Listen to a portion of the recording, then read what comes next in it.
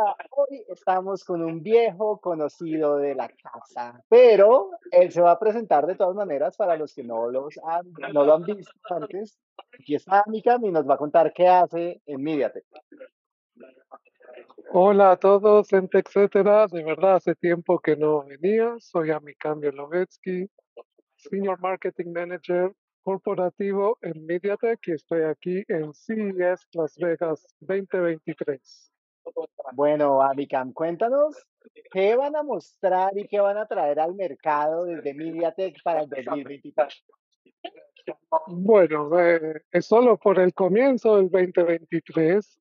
tenemos muchas cosas para todo el año, pero acá tenemos en un suite que eh, es por invitación únicamente.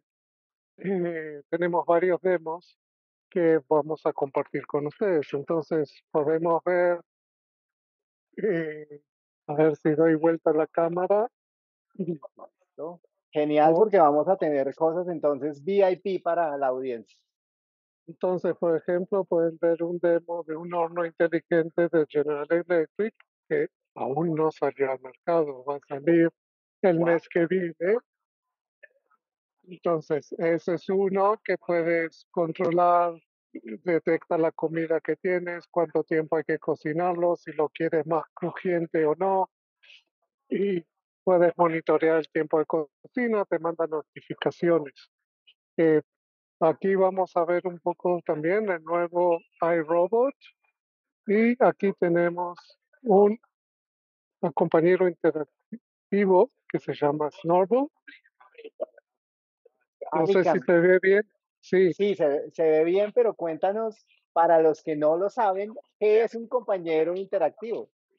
Entonces, está, tiene adentro un chipset y inteligencia artificial que es un amigo del niño que le puede ayudar a hacer preguntas, a hacer tareas, a despertarlo, a tocarle música. Y aquí pueden ver un poco más de cerca cómo es. Wow, está muy interesante. Eso que vemos ahí es una pantalla porque veo que, que estaba como haciendo gestos. Es una pantalla, sí, está cantando, pueden ver. Tiene como una luz.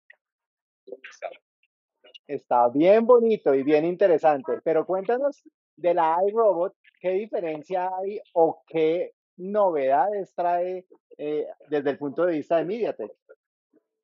Bueno, no lo tengo ahora a, a mano, pero bueno, le agregan un poco de inteligencia artificial, así se choca menos con cosas que están en el camino. Fantástico, fantástico. Cada vez más inteligentes estos electrodomésticos. Sí, bueno, acá es eh, una de las cosas que mostramos y acá de verdad bien rápido es el tema de todo el ecosistema de Wi-Fi 7.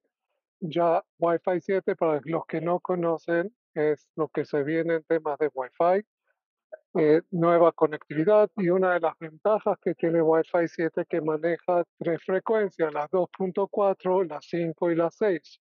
Una de las cosas más importante o especificaciones se llama MLO, Multilink Operation, lo que permite mezclar y transmitir a la vez vía dos bandas, lo que nos da más ancho de banda.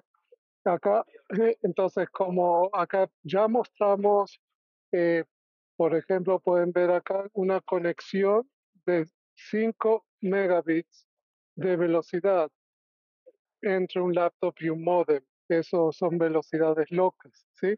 Muy altas. Muy altas. Y eso está en vivo acá funcionando. Otra de las cosas que estamos mostrando también es, es algo que llamamos para el tema de automotriz, todo lo que es el cockpit, también con inteligencia artificial, lo que nos permite acá poder ver lo que sería la pantalla principal de la, del infotainment, que es información y entretenimiento. Esto es lo que vería el chofer abajo, que podemos ver la velocidad, la distancia, todo tipo de datos, y esto sería una pantalla de entretenimiento para el viajero que está detrás. Pues todo esto va dentro de otro demo del carro. Amicam, Acá, aquí, sí. ¿qué chipset tenemos de MediaTek ahí? Entonces, acá hay un chipset que se llama MT2735, que es un chipset con telemática 5G y es especial hecho para este tema de eh, cockpit de auto de eh, automotivo. Sí, es un chipset muy que tiene también APUs de inteligencia artificial, que tiene GPUs de gráficos y un CPU, pero enfocado en el tema de información y entretenimiento en el vehículo. Amicam, algo que nos preguntaban muchísimo y no sé si lo tienes ahí, la verdad. Me disculpo en caso de que, de que me esté adelantando a lo que va a venir al, mer- al mercado, pero muchos dicen cuándo vamos a ver eh, a MediaTek en un plegable a nivel de smartphones. ¿Eso pasará este año o todavía no sabemos? Pues, no, no sé decirte cuándo, eh, también el número de teléfonos o dispositivos plegables todavía no es tan grande, eh, pero bueno, si quieren hablar un poco de smartphones, hablemos de smartphones. Voy para la estación de smartphones, Genial. A- que es aquí vemos, grande, parece, sí, es- está gigante ese boot que tienen ahí. entonces acá lo que estamos, tenemos dos teléfonos, uno de todos es el Vivo X90, que lleva nuestro Dimensity 9200, y tenemos el ROG 6D, un teléfono de gaming completamente de Asus, que lleva nuestro Dimensity 9000 Plus. Y lo que estamos mostrando es el tema de Race Tracing. Race Tracing, como pueden ver acá, es una característica normalmente que es para gamers, más que nada en consolas de juego juegos de PC, pero no en móvil, porque es muy difícil hacerlo y consume mucha batería. Entonces, lo que hace Ray Tracing, si pueden ver el video, es como si estamos viendo si hay una luz dentro del juego, seguimos esa luz, lo que hace alumbrar en más detalles las imágenes y de esa manera el gamer el que está jugando recibe una imagen mucho más verdadera. Todo acá estamos, mo- entonces, para contestar tu pregunta, es, estamos trabajando con los fabricantes de teléfono, obviamente, y la idea es en algún momento tener un plegable, pero somos pocos los que usamos plegables. wow, Cuéntame. bueno. ¿Y cuántas tecnologías de, de MediaTek están ahí metidas para lograr tanto poder en ray tracing? Porque yo me imagino que está Hyper Engine, está Miravision y algunas otras en ese simple demo que nos acabaste de, mostrar ahí en pantalla, ¿no?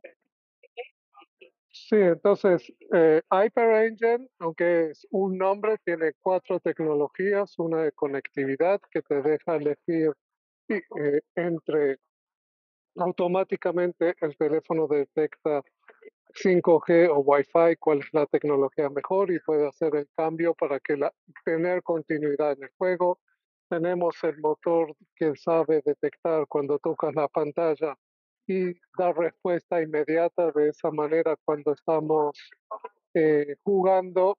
Es muy importante que dispares y el tiro salga inmediatamente.